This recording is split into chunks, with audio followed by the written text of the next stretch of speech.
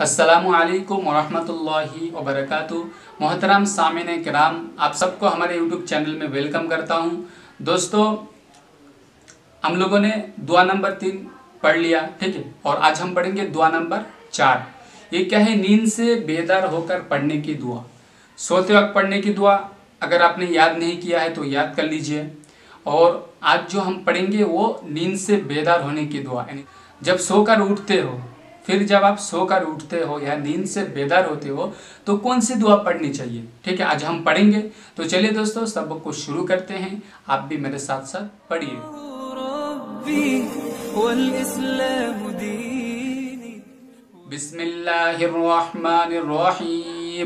दुआ नंबर चार, नींद से बेदार होकर पढ़ने की दुआ। नींद से बेदार होकर पढ़ने की दुआ।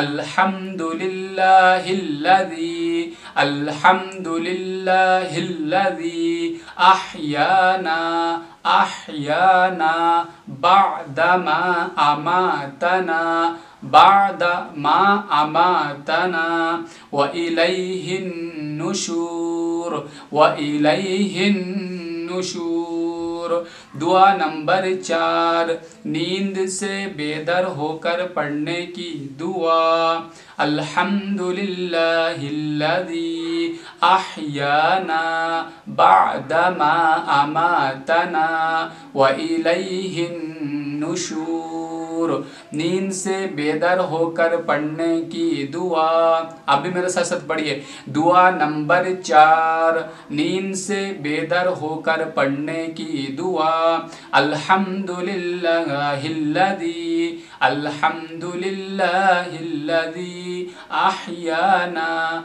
बादमा अमातना। व इलैहिन नुशूर। ठीक है दोस्तों, आपको क्या करना है? दुआ नंबर चार। एक, दो, तीन, चार। ओके दुआ नंबर चार आपको क्या करना है? याद करना है। ठीक है? याद कीजिए। और रोज़ाना जब सोने के लिए जाते हो या नींद से बेदार होते हो तो ये सब दुआ आपको पढ़ना चाहिए। ठीक है? तो याद कीजिए। और हमारे, अगर ये वीडियो आपको पसंद आए तो लाइक कीजिए, शेयर कीजिए। और आपके फैमिली में से जिसको कुरान करीम पढ़ने नहीं आता है, उन तक ये सब वीडियो ज़रूर ब ज़रूर पहुंचाइए। आपके दोस्तों में से भी जिसको पढ़ने नहीं आता है, उन तक भी पहुंचाइए। ठीक है? ठीक है दोस्तों, फिर मिलेंगे तब तक के लिए असलकम वरहमतुल्लाह